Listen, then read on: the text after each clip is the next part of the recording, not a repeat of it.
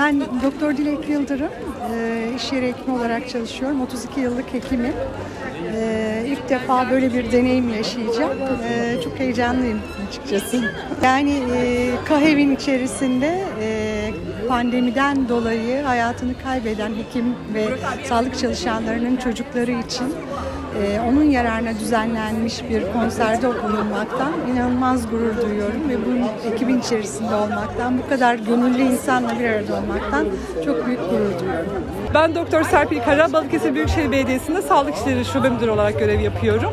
Aynı zamanda Kadın Hekimler Eğitime Destek Vakfı'nın bir üyesiyim. Ee, Böyle bir yenilik hareketi içinde bulunmaktan da ayrıca gurur duyuyorum ve bunu Balıkesir'e taşımış olmak bizim için ayrıca bir gurur verici bir durum ve salonda bu kadar rağmen yavaş yavaş arkadaş bizi izlemeye gelenlerin de olması bu işin gerçekten çok önemli, çok güzel bir hareket olduğunu zaten bize gösteriyor. Merhabalar, ben Doktor Nefise Akdemir. Kadın Hekimler Eğitime e, Destek Vakfı vakıf üyesiyim. E, Şu an burada doktorlar eğitim için söylüyor. Senfoni Orkestrası eşliğinde Halk Müziği Konser Projesi için bir aradayız. Ülke genelinden pek çok hekim arkadaşımız bu projeye dahil oldu. İnşallah onlarla birlikte konserimizi sergileyeceğiz. Programın hazırlığı biraz önce de söylediğim gibi ülke genelinden katılan pek çok meslektaşımız gönüllü olarak buraya destek verdiler. E, doktorların katıldığı bir koroya e, profesyonel müzisyenler eşlik ediyorlar.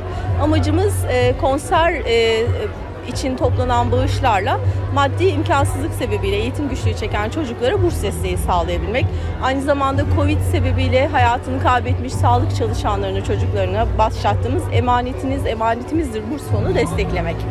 Ee, burada bugün çok güzel eserleri seslendireceğiz hep birlikte. Müzik ortak paydasında çok güzel bir amaç için buluştuk. Ee, ve umarım seyircilerimiz de bizim bu duygumuzu paylaşacaklar burada.